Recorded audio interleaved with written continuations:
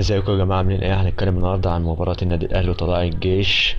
مباراة نوعا ما بالنسبة للنادي الأهلي. بالنسبة للشوط الأول فرص ضايعة كتير. أحمد الشيخ في أول الشوط آه، فرصة ضايعة. آه، ضيعنا فرص ياما. لسه برك عندنا عيب تضييع الفرص. ما لسه ما نحلش تاني شوط سيء.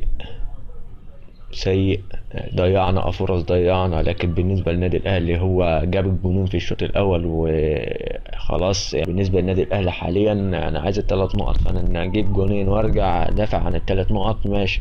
إنما بالنسبة لجمهور النادي الأهلي ما ينفعش خالص لأن جمهور النادي الأهلي تعود على الهجوم تعود على الأهداف. جمهور النادي الأهلي خلاص واخد إن النادي الأهلي ما بيقفش على جون ولا اتنين ولا تلاتة. ان جمهور النادي الأهلي عايز اللعيبة على طول أداء ونتيجة.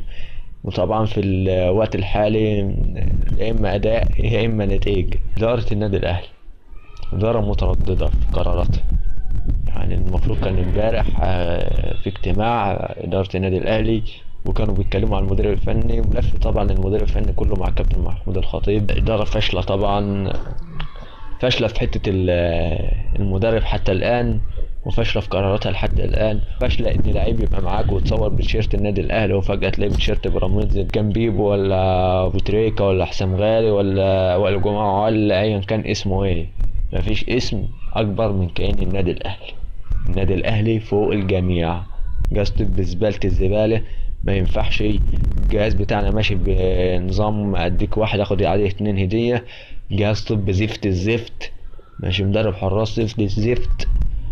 كل حاجة في الأهلي حاليا سواء لعيبة أو جهاز فني زفت الزفت عشان ما نكدبش على بعض. كل حاجة زفت الزفت بالنسبة للجهاز الفني حاليا وبالنسبة للعيبة حاليا. زفت الزفت. اتحرك يا كابتن محمود الخطيب. اتحرك قبل ما الجمهور يتغير. والنادي الأهلي بيحبك لكن بيحب كيان النادي الأهلي أكتر من أي حد ومن أي اسم.